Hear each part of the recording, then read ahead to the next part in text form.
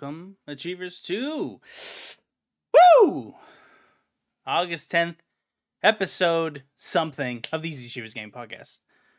I'm coming to you like I do every single Friday sometimes. And we're going to discuss some news. We're going to talk about a couple things today, a couple rumors. This is rumor heavy and also light on the news.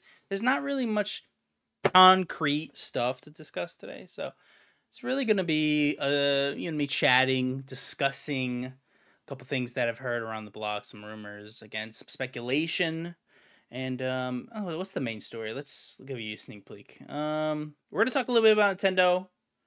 Talk a little bit about backwards compatibility and these things, and a little game, Baldur's Gate 3. We're going to talk about that a little bit later too. So I'm very excited to discuss this. I hope you are as well, and let's start with not so rapid fire.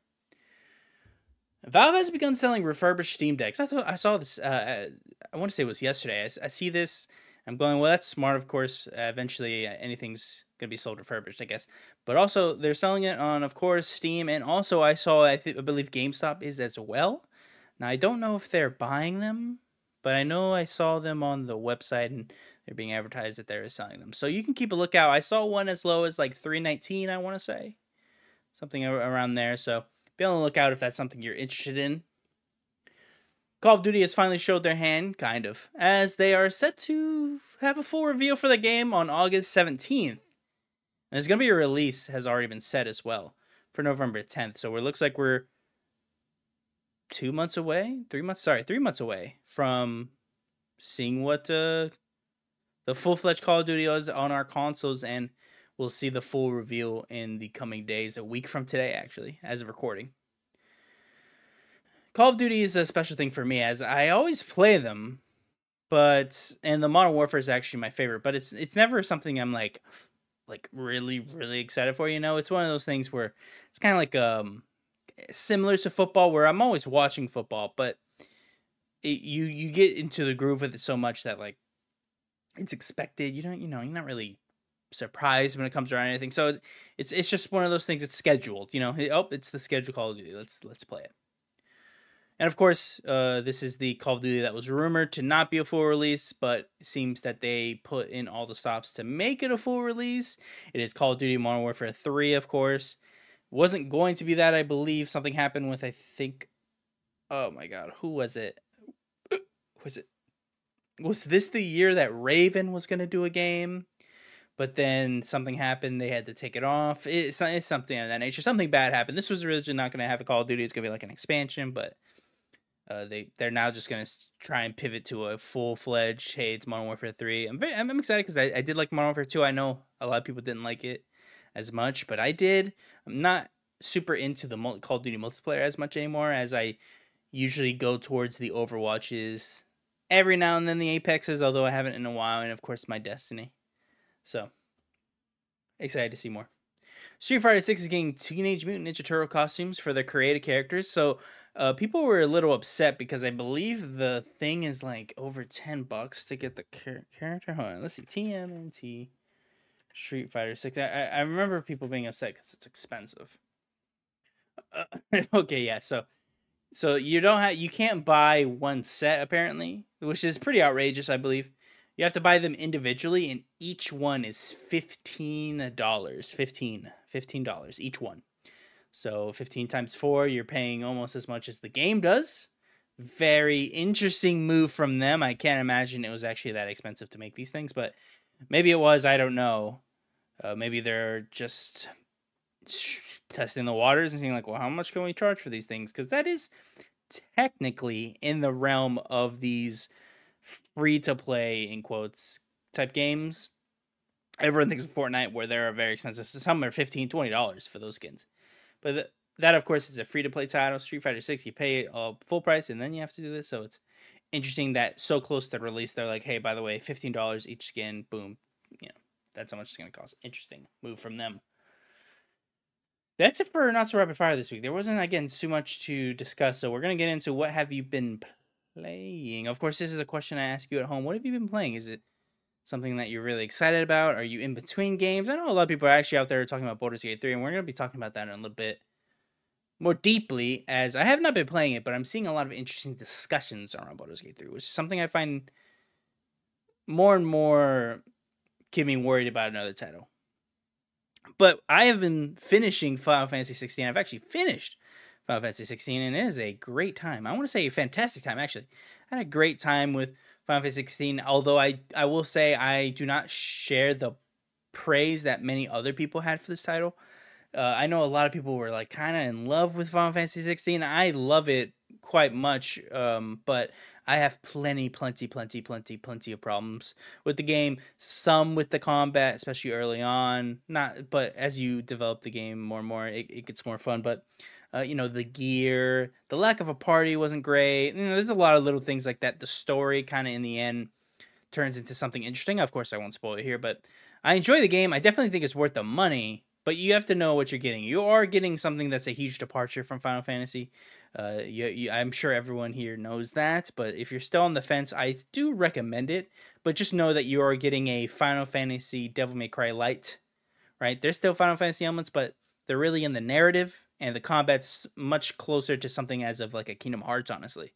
That's kind of the closest combat equal, I would say, is actually Kingdom Hearts. A lot, I know a lot of people say, you know, the Devil May Cry the head of oh what was he on oh my god uh, uh, the game one of the gameplay designers i believe like head gameplay designer was from devil may cry 5 and although you see a little bit of it it's not much i mean devil may cry is incredibly complicated especially when you really delve into those combos and you're not doing anywhere touching that sort of depth in this game it's very very very different things i think it's actually way way way way closer to kingdom hearts specifically 3 a little bit of 2 in certain ways, but it is it, it's kind of a unique thing. I don't think it's really like anything else because of what it does with certain aspects of the game. But I do recommend it. I think everyone should at least give it a shot, especially if you like Final Fantasy.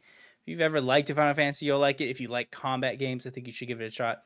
And again, the narrative is very, very good, although it takes some turns near the end that I didn't quite love. I wanted it to take a couple of turns, but in the end, I was satisfied with the game. And I'm going to be trying for the platinum. Let's see if I will keep that up because you have to play it twice, one on the regular mode, and then you get a Final Fantasy mode that makes the game slightly harder. So I'm just playing through that, and I'll be finishing up with that. I'm playing a little bit Destiny as well, like always.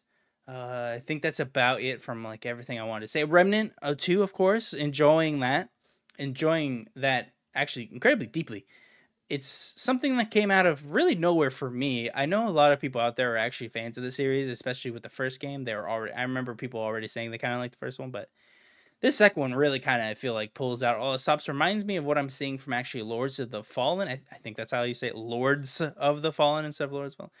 Kind of a sequel, sort of, not really, but it reminds me what I'm seeing of that where they're really taking the the the first part of that game and they're really expanding and showing off what they learned and making a really really big push into the kind of game scene with these kind of unique interactions with yeah you know it is this kind of game but also it can be this like this as well and we're gonna have this different interpretation of what you would say a souls like but it's not really a souls like. It's only a souls like in these very few instances. It's kind of its own thing and i think actually remnant uh, from the Ashes 2 is, is actually a very good title, especially if you're doing co-op. I can't imagine loving this game, honestly, if it if I was just playing it by myself, unless I really kind of got in the nitty-gritty of things.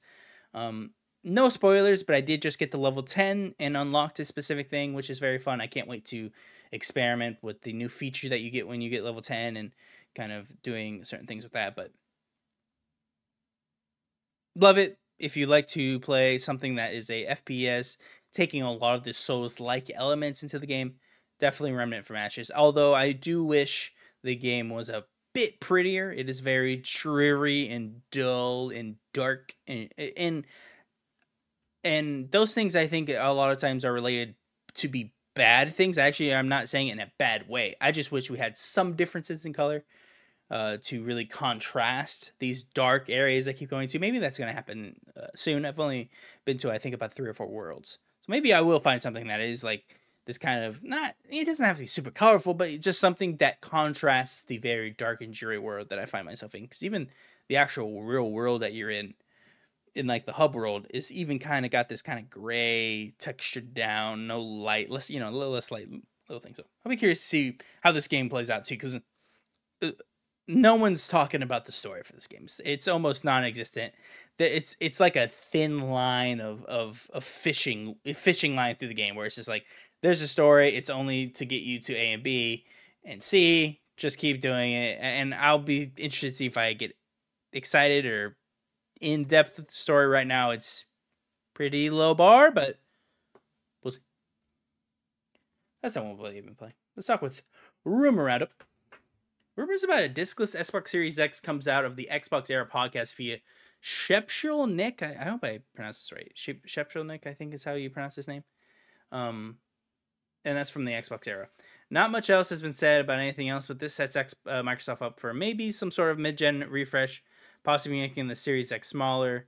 And important to note from Insider Gaming that they apparently have heard that the rumblings of the next gen consoles might not have discs at all. I find that interesting. I, I don't I don't know if I am I don't know if they dump so quickly into that. And also what's there's no there's nothing wrong with having options at all and they can also always have an, ex, an expandable disc reader similar to what the PS5 is about to do right now. That's why you see some of the PS5s going to sale and in certain markets is they're trying to get rid of a lot of this uh, stock that they have so they can really go in on hey there's only the discless and you can buy this separate disc reader and attach it to your console like but we're only going to be making this one from now on. And i think that's actually smart from a uh, manufacturing standpoint.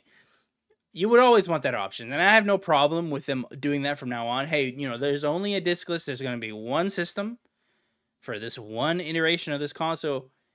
But if you want to, here's a side thing that you can plug your thing in. You can play discs. No problem with that at all. I don't really mind. I only really play digital anymore, anyways.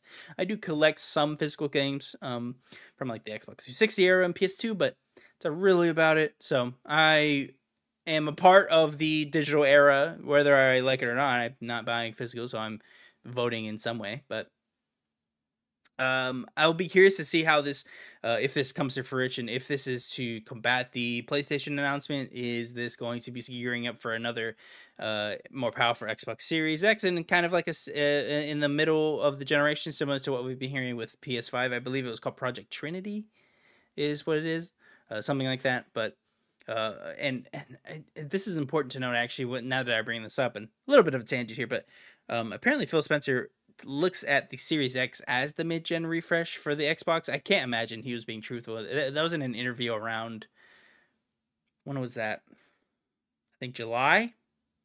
Blanking on when it was, but he basically went on the record talking to Jeff Grubb, I think it was, um, on the Giant Bomb uh, cast thing, uh, and they're he was pretty much like he sees the Series X as that mid gen refresh, and the Series S is the main unit, and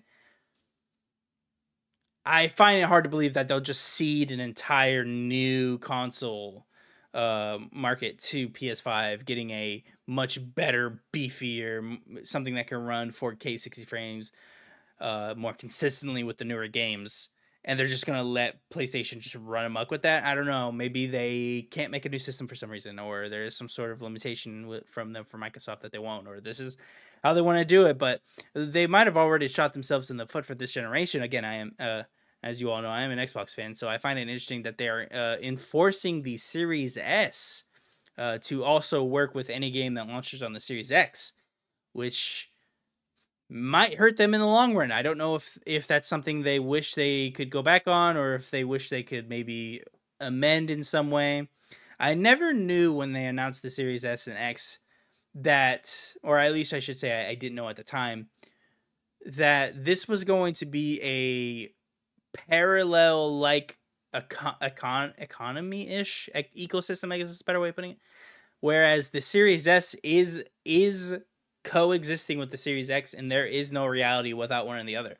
I didn't think they would go so hard as like, no, if you buy a Series S, every game that comes on the Series X will work on it. I just I'm sure that was said at the time, but that just never hit me until right now where I'm seeing a game we're going to talk about a little bit later, Baldur's Gate 3 from Larian Studios their whole reason for not launching on Xbox is they can't get it to work. There's a specific split screen thing I believe that they wanted to do in their mode, and it just won't run on a Series S. Hopefully, I don't butcher that. I'm pretty sure that's the reason, and that's that's why they're not launching on it. And frankly, it's a pretty good reason. If you can't get it to work on the Series X, you can't launch on the Series X. And I really do think that might have been an error in judgment because you can't make that sort of rule when you're in last place, as they like to remind us.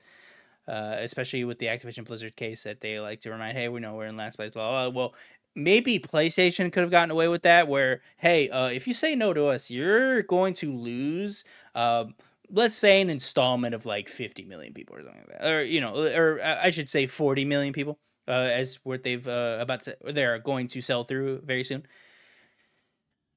uh, that's nothing to sniff at and that's a lot of a market value that or market share that would just you just have to ignore and just go solely into pc slash xbox if, if you ignore them but with xbox you might they might be being sold two to one so let's say they're they're selling about half of that 20 million ish that's not good. And with revenue down and them not going into uh, uh, their actual console sales down, their actual revenue, meaning their their console sales are down.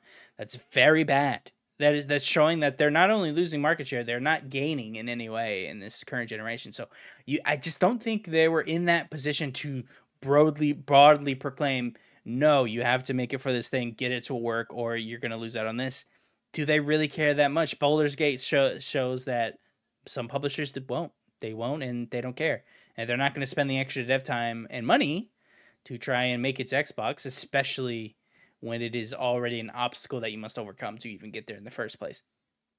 I would love to know everyone's thoughts out there on everything I just said. What do you think about the Series S and X and the kind of polar but parallel projections that they're having currently and is this something we're going to see more and more? Is this going to be a problem in the Xbox ecosystem? Is this going to be something that is a arbiter of what's to come, let's say, uh, pun intended, uh, that right now we're seeing one to two games miss.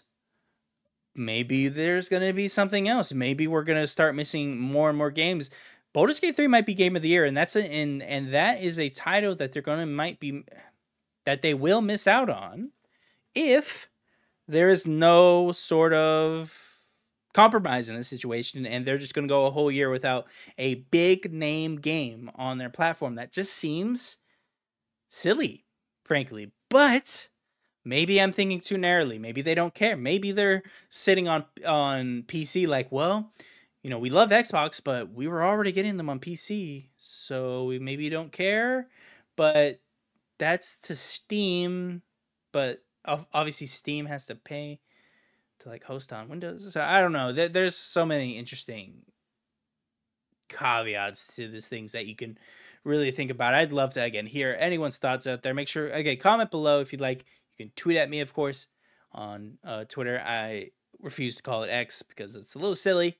So I'm still going to be calling it Twitter until at some point it doesn't sound silly to say X. X me. Ubisoft has canceled its Immortal Fenyx Rising sequel. This is over by Andy Robinson. There's not much to say here. Uh, his sources are telling him uh, that the sequel has been canceled. There was one in the works. Uh, there was an update to the story if you actually read it uh, in earlier in that week that it came out, according to, uh, and this is just from his, of course, write up. That's according to multiple development sources who told VGC Anonymously that the follow up game was in early development at Ubisoft Quebec, but company leadership ultimately decided to cancel it earlier this month due to perceived challenges around establishing the IP. And here's the update. Ubisoft has responded to the story and said it's, quote, reallocating some creative teams and resources within the Quebec studio, as part of our global strategy, we're redirecting and reallocating some creative studios and resources within Quebec Studios to other unannounced projects. The expertise and technologies these teams develop will serve as an accelerator for the development of these key projects focused on our biggest brands. We have nothing further to share at this time. End quote. Now, I think you can kind of read between the lines in there. Immortals Fenyx Rising was canceled in order to fund something more important to Ubisoft. Now, next up in the record, next up in uh, the notes here for the show, every Assassin's Creed currently in development. There are over eleven. This is uh, from a actually I found this on Reddit. This is someone just someone made, and I thought this was a great thing to just go over. This is uh, by this is Gaming Leaks a Rumor by Zombie Nerd three hundred, and they made this list, and I was like, you know what, this is a great thing to cover on the show, and I'm going to. So I brought it up here, and this is everything currently uh, announced. We know about pretty much. Well, it's been leaked in some way and we can pretty confident say so there's over 11 assassin's creed games currently in development start assassin's creed mirage this is uh, going to be coming out october 12th assassin's creed nexus that's of course that vr project that's coming out sometime this year uh, assassin's creed codename jade that's the mobile game that's sometime this year assassin's creed codename red that's going to be sometime maybe next year from certain sources codename hex that is sometime in 2025 to 2026 Codename Invictus. This is a multiplayer game, sometime 25, 26. Nebula. This is a single player game. This is concept prototype. Both of all three, everything else is unknown in time frame when it's released. So we're just gonna quickly go through these. So that's a single player game. Codename Raid. This is a multiplayer game. Codename Echoes. This is also a multiplayer game. Codename Nexus 2 VR. This is only being discussed. So this is probably not even pre-pro, not even concept. This is before they even put pen to paper a potential sequel to the VR uh, game, and then the Black Flag remake, which was just greenlit apparently, w- which we saw sources from. I want to say VGC two weeks ago, three weeks ago said that that, that existed. Uh, and that that just hit greenlit, so that means that they're going to begin working on that. That could come as soon as 2025, 2026, depending on how big the remake is. Uh, who knows how deep the is? If it's a full rework, that might uh, we might not see the light of day till 26, 27 at the latest or earliest then. Uh, but I thought that was interesting, and I think that it's clear where that creative team is going. Right, they're going to some of this. They might be split up to work at some things. They they said it was in um. Hold on, let me double check uh, before I spout this. They, they said it says unannounced projects. That means nothing to us because we know a lot of their stuff. So could be to multiple Assassin's Creed games. Could be uh helming things. Who knows if they might not be helming anything. They might be just cooperating with other Ubisoft studios. It might be a, group effort between Ubisoft studios to make more Assassin's Creed games. Maybe it's something else like the rumored Splinter Cell game that they we keep hearing about. But I at this point I'll see it when it's out in my hands. I refuse to believe it, it exists. But they have quad they have not even quadrupled. They've like quintupled to multiple times down on Assassin's Creed. We are seeing a Ubisoft that is going back to the basics. They have done this before. Let's see if we can do it again. We're going to just go back, see if we can make some money on just making Assassin's Creed over and over again. They again, they tried this if you remember in like the three uh, the end of the 360 going into the Xbox One kind of mid Xbox One generation where they just kept releasing ones and they just kept getting worse because they just didn't have enough time. They kept coming out worse, worse, worse, ending with Unity pretty much in Syndicate. Uh, Unity was kind of the the last domino that hit that like was the uh, kind of worst one out of the whole bunch. And then Syndicate came out, and no one bought it because Assassin's Creed was kind of played out, so they abandoned it and went full fledged into making these kind of trilogies that were set in like the far flung past, but still was connected to the universe. So we'll see how that kind of plays out. I'll be curious uh, to see what Ubisoft looks like in five to six to to a decade if this pans out. Because I'll say it again, they tried this, didn't work last time. Maybe it works for them this time. I don't know but they're slowly becoming the the Assassin's Creed publisher, especially with that many projects in the works. I don't know this website. So this is Xfire, I think. Is that what is that how you say this? Yeah, Xfire. Wow. This a silly name, but let's talk about it. So this is by Ray. Oh my god. I'm sorry if I butchered this. Apolicchio. Apoculo. Sorry if I mispronounced that. Apparently, there's a remake for Elder Scrolls 4 Oblivion at development at Virtuos Games. Now, if that sounds familiar, we did cover many, many, many, many, many months ago that they were actually leaked from a former employee's LinkedIn page that they were working on a remake for Metal Gear Solid 3 that was just confirmed a couple months ago uh, during Geoff Keighley's little thing, uh, uh, Summer Games Fest that he does. Uh, that was finally confirmed that they were doing a Metal Gear Solid 3 thing. There it is right there. We, we so we know that there is some sort of validity to these things. And then, of course, we hear that apparently there's going to be a remake for Oblivion coming very soon. Now, this uh, comes the way of a since post on Reddit uh, that says a couple things. Now, it doesn't exist anymore, so I can't find it, but it was included in the article that I can read from here. So this is from. I'm not gonna read that because I don't want to be. I don't want like YouTube to not recommend me. You can look up what the name of the user is. It's deleted, so it doesn't matter anyways. This is a rumor. So this says, as of quote, I am an ex-employee of the company Virtuos, uh, Virtuos Games Paris is what it says, by the way. And here are some projects they are working on. Sadly, I couldn't take any screenshots or whatever to exactly prove my words, but well, first there's an there's quote alter project end quote, uh, which is the remaster remake of Oblivion. The discussion for it being a full remake are still ongoing. It is done currently using a pairing system, so it means that the remaster is running using both an Unreal Engine 5 project and the old Oblivion one. For instance, new graphics are rendered in the Unreal Engine 5 engine, uh, Unreal Engine 5 project, but most of the gameplay, physics, etc. is still done in Oblivion. It should be released at the end of next year, early 2025, depending mostly on if it's a remake or remaster. It's mostly done in Paris, but Black Shamrock also helps the studio for the art. Then you have the internal project called Massive. This is for now in a really in an early step, but it has the ambition of becoming a AAA, a big AAA project. This is basically Monster Hunter X Shadow of the Colossus. They have big bosses and things. I'm not going to read this whole thing, but you get the idea. Another project is Krobo, which is a remaster remake, not sure what stage, of Metal Gear Solid 3. We know about that one. And then they're also working on an extension for New World, Amazon's MMO, by first working on the next DLC before taking a complete one on their own. Uh, and they also edited it and said, I forgot one called Omnis. This is a narrative climbing game. Again, quite early in process, searching for an editor currently. So we can believe them or not. Who knows if that any of that's real? We have seen links from them prior. It's deleted now, and the user's deleted now. So maybe that adds weight to it. Who knows? I don't know how to really take it as it really is just kind of a person talking about this. So we'll have to see if any of that becomes a free witching.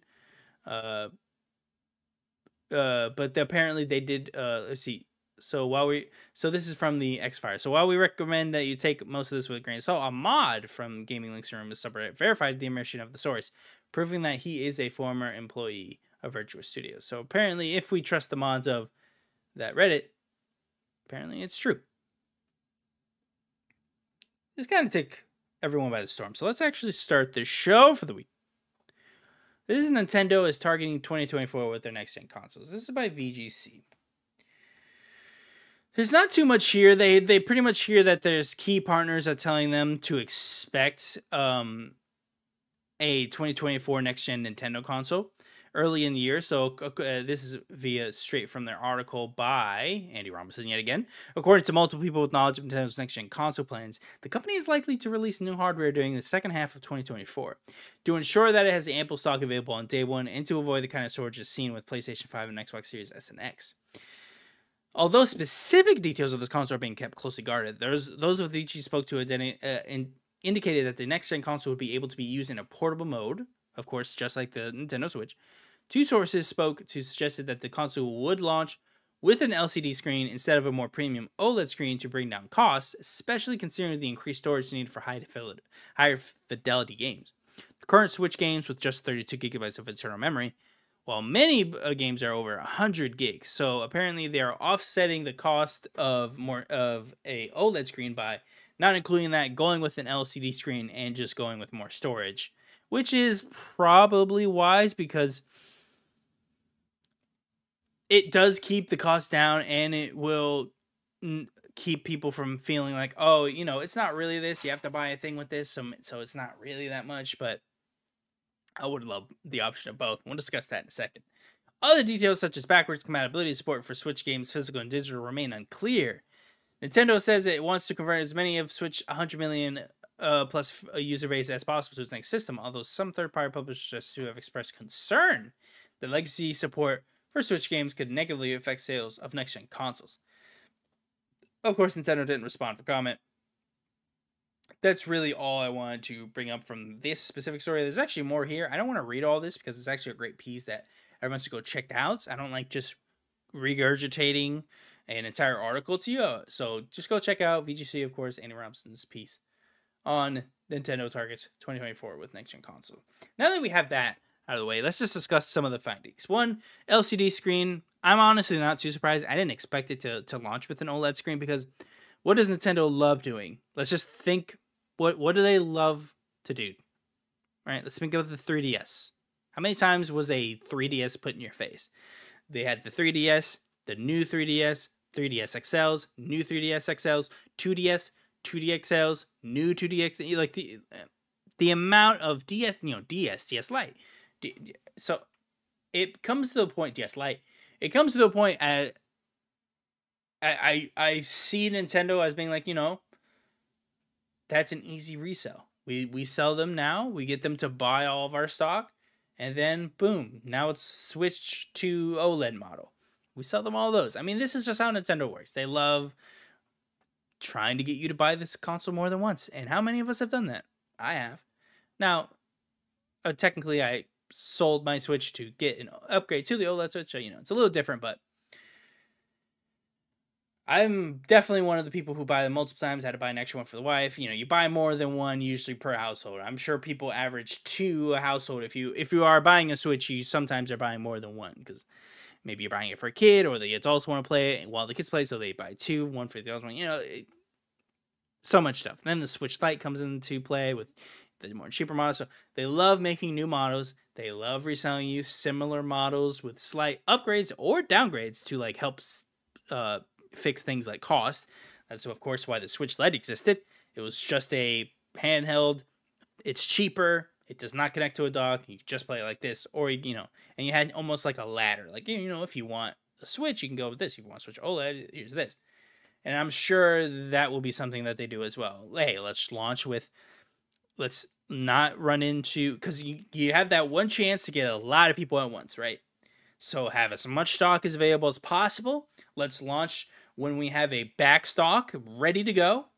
We go second half of the year, we throw it all on the market. Boom, we're done. Wait a year, we're sold through. We're we're making as fast as we're selling. Here's the new model. Switch to light. Boom, do it again. Six months later, switch LED OLED or whatever. Boom, keep going, keep going. That's just how Nintendo is. They love doing that stuff. It makes them an incredible, dumb amount of money. So Who's to blame them? That's really all I have really to discuss specifically about the new system. Um, I will say we're about to talk about backwards compatibility, so that you know I'm not ignoring that factor that was brought up. We're going to talk that second uh, with a very high-ranking CEO that discussed about the game. But Nintendo is one of the companies where it's just difficult to discern what they're going to do, right? People to you and me and many people probably like, well, of course Switch 2 will be portable. And you know, Nintendo does what they want. No one knew they wanted the Wii until they made it, right? This is how we're de- this is who we're dealing with. Nintendo has been at this for a very long time. Some of them some of them have been there since Nintendo has become relevant. Still, I believe uh, a good bit of them actually are still there. People like Shigeru Miyamoto, people with knowledge of the industry. That's why they've got the sauce. You know, that's why they're they're there on the sidelines. People think they're in a different market. I refuse to accept that they are in the exact same market that Xbox and PlayStation do. They just do it differently, and frankly, they do it smarter than probably both of them. Although I think someone who is on the outside would be like, you know, PlayStation's the most dominant uh, because they throw it in your face a lot. I think. I think PlayStation's very good at uh, flexing their name a lot more than Nintendo is. Nintendo will do a direct they'll do it they'll tell you about a day before they'll have a cool direct and then they're gone for six months then they'll have another direct but that one's not as good so yeah so they don't really flex i think as much but if you really put bare bones to bare bones nintendo i think is the leader in this market frankly uh, because they just know what they're doing they're they're very premium i don't know why no one's stolen what makes them so much money and profit and revenue and how they like when you see a $60 Nintendo game, you know it's not getting cheaper. And I'm so shocked PlayStation hasn't taken that to some account where, you know, hey, our games will be 60 bucks the first year, the second year will be 50, the third year will be 40, something if they're too scared to make the jump to Nintendo. something like this just never goes down in price. I'm I'm just shocked that they don't attempt to do something similar to that. They're like right now, I'm I wouldn't be shocked if there's somewhere right now that The Last of Us Part Two is on sale for fifteen dollars. Like that's wild, but at that point, are you even making money that matters to you as PlayStation? Right to us, that's a lot of money, but to PlayStation, do they even care if they when they make Last of Us Part 2 15 bucks and they sell another 2 million units? Do they even care about that amount of profit that they made? I don't know. And I guess at the end of the day, you're in the black. So it's just free money at that point. If if you're in the black, who cares how much extra money if you go, you know, that's how a lot of people think, "Hey, we're in the black, we made our money back. We've already made our expected profit slash revenue from this. I don't care. Make it ten dollars and have it sell as much as its lifespan will go. Keep keep pushing, keep pushing. But I don't know. PlayStation's so good at getting people to their marketplace that you would think you would always want to get them on a $60 price. And then that incentivizes people to go with PlayStation uh, Extra, Premium, you know, Plus, all these essential, sorry. Uh, that incentivizes them more to adapt to, to that. So I feel like it's a win win, but of course, I'm not an economist or economist, I'm not someone that's very smart with the actual dollars of this industry. Maybe there's something I'm missing. Strauss Zelnick had to sit down with games up is. Man, a lot of people upset, but I believe he is saying something much more here than others are picking up. So what did the Take-Two CEO say? Pretty much detailing the pros and cons of making the next Nintendo console backwards compatible. Let's read some quotes. Quote, you need to give consumers what they want and optimize their experience. And you can't not deliver a feature you're able to deliver so as to maximize sales. This isn't fulfilling your contract with consumers. You have to do the very best you can for them. I suppose it's possible the lack of backwards compatibility could enhance your revenue for a period of time, but at what costs? We're not a hardware manufacturer, so we don't get to make those decisions. But I think if you could be a compatible, if you can be compatible technically, then you want to be. However, in certain instances, if the leap forward is great enough, that is not a possibility. End quote. I thought this was very interesting to read in conclusion to the Nintendo targets and uh, uh, certain people saying certain third parties don't want backwards compatibility because they want to resell you the games.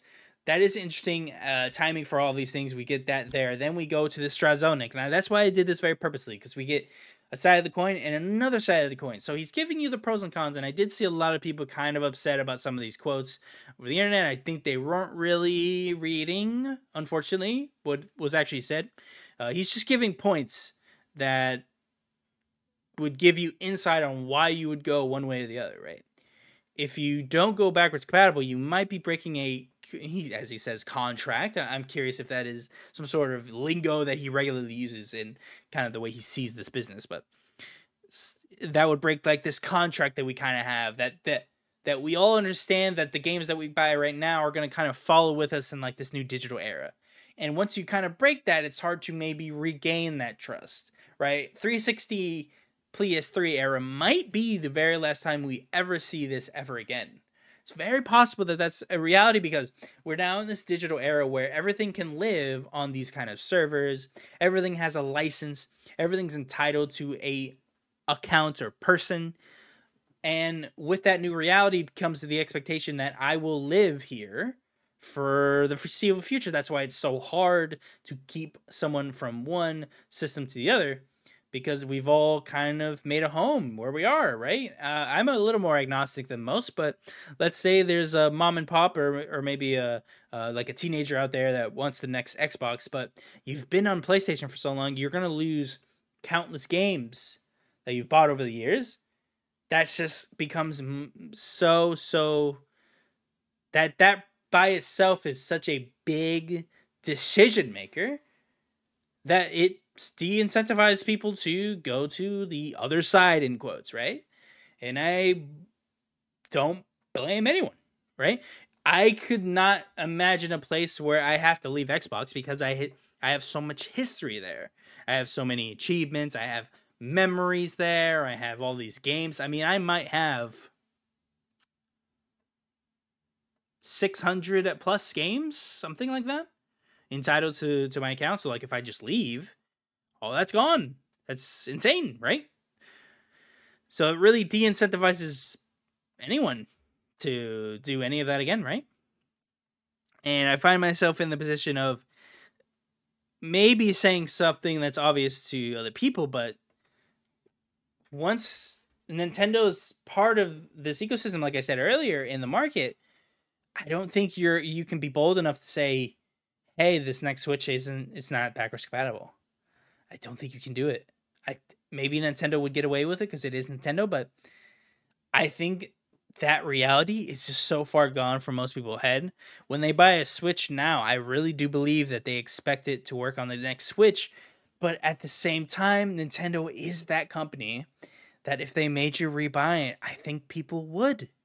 Which is strange to say. It's almost I'm almost arguing myself here. I apologize if this is long-winded or silly at home, but Nintendo does really kind of feel like that company that hey, uh y- y- nothing you have now matters. Uh, we'll keep the Switch going for a little bit, but this is the new platform.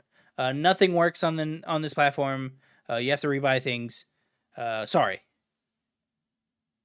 I don't know. Do they have that many disgruntled people? I don't know. Maybe. Maybe some people would swear off the platform and say, hey, you know, I'm done. But no one really does what Nintendo does anymore. PlayStation tried. They exited the market as fast as they entered it. With the handheld space, with Vita, and these things. They tried the PSP, of course, phenomenal system. They tried. They entered. They didn't like what they were seeing, and they left. They couldn't do it. They couldn't figure it out. So who is that person that you would leave Nintendo? It's almost kind of like a micro monopoly inside of this not monopoly, right? And of course, monopoly isn't the right word, but you understand what I'm trying to get at here. That hey, you utilizing the fan base that we have, we could manipulate it to a point where, hey, we boost our long our shirt to long term sales of our platform. That means a bigger cut to us. That means more money for us. That means they have to rebuy all these games, etc., etc. Or you go with the consumer plus route of, hey, we get it. You don't have to rebuy any of your games. If you want them digitally, it all works. The physical thing is what I'm interested in. If you buy them digitally, maybe they all go with you, but what if they don't include that little micro SD card to read it? I'm assuming they're going to stick with the micro kind of SD card storage type thing that they're doing right now because I've just heard that it's actually better than discs now. I don't know if that's true, or maybe there's a new technology that's doing that that I don't understand. I'm not very, I'm not that tech minded. I, I like to think I know tech a little bit, but that specifically I don't quite understand. But I'm pretty sure I, I thought I heard that that that's like able to store more, so they might stick with that. I don't know, but I don't think we see them back at discs. So maybe they just stick with this method of using it, and they use like some sort of cloud system to to like boost uh how they play certain things. I, I don't know. I don't know, but I thought these were all interesting things, especially hearing from someone as smart as Strauss Zelnick, and I love how chatty Strauss is. I feel like not many CEOs you get this much. Uh, I feel like I'm covering him every other month because he's he said something to Yahoo or these things. It's very cool. I like it. This is a quick one. I just wanted to bring this up. Square Enix is bringing Final Fantasy 14 to Xbox. I love this. Sometime spring 2024. Uh, Final Fantasy 14, of course, a giant MMO. Uh, I'm right now. I'm looking at a picture of all of them, like whole, like uh, shaking hands, like they're all in the pool with Phil Spencer and the director, of course, uh, and the Square Enix CEO. Love it, and this is kind of hinting that. Uh, and Phil Spencer says, "quote We look forward to building on the relationship that we've established and bringing Final Fantasy 14 to Xbox and partnering closely with you and the Square Enix team on future games." Kind of hinting like, "Hey, uh, this isn't it."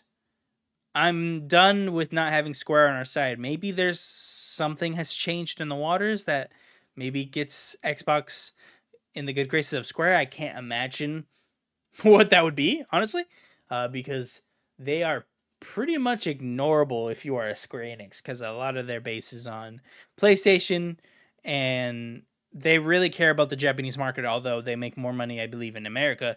They still care about the Japanese market, and Xbox is still kind of a joke in the Xbox market still to this day. Shockingly, they just cannot figure out how to penetrate that market like Nintendo and PlayStation has. I think they just have a vice grip on the market that they just can't. And I think a lot of PlayStation's moves of exclusivity have ensured that Xbox cannot move into their market in that specific way. Maybe I'm thinking too conspiratorial here, but I'm thinking that maybe a lot of these kind of exclusivity deals that they hit are to keep Xbox from grabbing a market that they know they have a chokehold on, so they ensure that that market is not moving anywhere. They are not experiencing Xbox or Game Pass or these things. Like they're not letting them leave that ecosystem. Specifically, of course, Final Fantasy VII being that kind of big example, right? We knew that uh, Final Fantasy VII remake had a year exclusivity, I believe. It, was a year or two years. Uh, anyways, it had an exclusivity date. Once it passed it, it didn't come to Xbox. Then we hear Rebirth is coming only the PlayStation. But Crisis Core Remake didn't. So it looks like they have the mainline ones and they got Final Fantasy 16. So it looks like they had some sort of giant deal that probably cost a lot of money that that secures Final Fantasy 7, Rebirth, Final Fantasy 16, and of course my tinfoil hat theory of hey, also you have to get uh, Foamstars and these other crappy games that we have that we have no home for. We know they're not going to probably go very well in the market, so you still have to make your PlayStation blogs. You still have to put them in state of plays because that's how these games are going to live. So that's a part of the deal or no deal. And I imagine that's how it went. And I can't imagine how much money PlayStation had to pay for to lock all this down. I, mean, if I had to guess, we're talking $500 million, maybe $300 million to completely lock out. Maybe that's too high, but for but to lock all that down 16 7 and 7 rebirth and potentially the third game in the trilogy um reunion uh, and all that like i mean that that's a lot of that that's that's a lot of cash so i can't imagine how much money that was and that's the news for the week let's go up to date updates Pokemon Scarlet and Violet's first part of their DLC, The Hidden Treasure of Area Zero Part 1, The Teal Mask, launches September 13th. WrestleQuest has been delayed to August 22nd at the 11th hour. Very strange. I don't. They had a Twitter post uh, detailing that they had um, some sort of. Oh, they said what what the issue was. I don't remember now, it's not important. But they had an issue that they discovered. Oh, uh, a, a, a, save. Uh, a save bug that would eat your save if something happened. So like, well, we're delaying this and we can't launch it like this. Good for them. That definitely cost them money. So that shows a level of respect they have for their customers. That is pretty rare because a lot of companies would have just released it. Let's be honest. Killer Instinct is randomly getting a 10th anniversary update due out later this year. Kind of cool. I like that. I liked Killer Instinct. It was uh, one of those, you know, you didn't have anything else to play, so let's play this on the original Xbox One when it launched. Happy to see it. Red Dead Redemption 2 is coming P- to PS4 and Switch August 17th for $49.99. Now, you're asking yourself, why isn't this on Xbox? If you asked yourself that when you saw these announcements, there's a few reasons. One, it never launched on Switch, so that's why it's going there. Two, it's on PlayStation because it's not backwards compatible game. Uh, of course, Red Dead Redemption 1, a PS3 game. Uh, they do not offer any sort of backwards compatibility natively. Uh, you have to like pay for premium and then stream PS3 games. That's the only way to play Red Dead 1, and I don't even remember if it's on that. I don't think it is. Another reason why it's not launching on Xbox is there's already a arguably better version currently. So if there's if you had the Xbox 360 either on disc or digital, you can just play Red Dead Redemption right now and it's might be better than this port. As far as what I've seen, uh, you can play at 4K. You can play it at 60 frames, all enhanced for free with quick resume and all these other features that Xbox has. Boom, right now on your Xbox. Whereas PS4 and Switch, first off, Switch, I don't blame them for releasing on Switch. That's a that's the thing is that PS4 kind of sucks. Still haven't figured out PS3 backwards compatibility. Eh, very strange. Uh, so it seems like Xbox, like, why are you being left out? and then you think about it, it's like, oh, because this would look worse in comparison to the backwards compatibility that was done for free. For free. no additional cost. It just works better now. Excuse me. Now, we're about to get into Game Pass. I need some water as I've been talking for 49 minutes straight.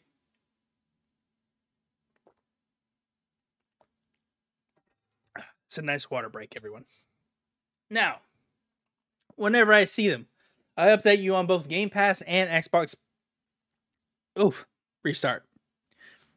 Whenever I see them, I update you on Xbox Game Pass editions, as well as what's leaving the service. And of course, I update you on PlayStation Plus and Premium and all these things. So let's talk about that. Let's start with Game Pass. Starting available already as of recording, Celeste, an incredible game that everyone must attempt at least once. I would love for everyone listening to the show. It's on cloud, console, and PC, so any Game Pass that you use is available. Please give this a shot. I am not a 2D platformer guy. I am not a fan of them very much at all. They have to be very good for me to care about them at all. This is one of the best games I have played in the last couple years. I very, very much, very much recommend this game to you. Now, this is everything still live as of this recording. A short hike, hike, a short hike. I remember seeing this somewhere. I think you're a bird. Enjoy. Broforce Forever, Cloud Console PC, August 8th, so available as of recording. I don't know if y'all remember the first Broforce. It was just dumb fun. Very Contra. You run and gun. You're you're you uh you play exaggerated versions of um how do I put this? Like 80s action hero, but they always had like a fun name. Like Sylvester Stallone was like Killvester, um Banelone or something. That that wasn't his name, but that's my shitty version I'm trying to tell you what it sounded like. But that is a great Game Pass grab. I cannot wait to play this. Cannot wait. Limbo, call console PC. An incredible game that I hope everyone plays. That was a 360 game on Xbox Live Arcade. Never forget that. Airborne Kingdom, cloud console and PC, available now. A- available August 15th. Everspace 2 Cloud and Xbox Series S and X. It's already available on PC, and this is it coming to consoles. Everspace 2. And that's it. That's everything coming, and this is everything leaving August 15th. Death Stranding for PC. Edge of Eternity, Cloud Console PC. Midnight Fight Express, Cloud Console PC. Total War Warhammer 3, PC. Of course, you can snag your 20% off if you would like to purchase it before it leaves. Now let's go to PlayStation Extra and Premium. All games listed will be available from August 15th, with the exception of Sea of Stars, of course. Sea of Stars is going to be August 29th. That is a game that's launching day and date with both PlayStation Plus Premium and Game Pass. That's very interesting, and I believe it is the first game of its kind, although I'm sure there was another game before this. I feel like this is kind of the first game, at least of the of the caliber that Sea of Stars is, that it is launching on both consoles on both subscriptions. Very interesting. I'll keep an eye out, see how this performs. So this is everything for PlayStation uh, Plus Extra and Premium. Sea of Stars, PS4, PS5, moving out to PS4, PS5. Uh, Destiny 2, The Witch Queen, very cool. Uh, Lost Judgment, Destroy All Humans Reprobed, Two Point Hospital Jumbo Edition, that's only for PS4. Source of Madness, Cursed to Golf Dreams, only for PS4. Uh, it's only a PS4 title, so it's not only for PS4. You understand what I mean. Page, PJ Ma- Masks, Heroes of the Night, Hotel Transylvania, Scary Tale Adventures, Lawn Mowing Simulator, Landmark Edition, Spur Force 3 Reinforced, that's only a PS4 title, and Midnight Fight Express, that's only a PS4 title. Uh, and again, you can play this on your PS5, but it will only be a PS4 game. It won't be. It will not be listed as a PS5 game.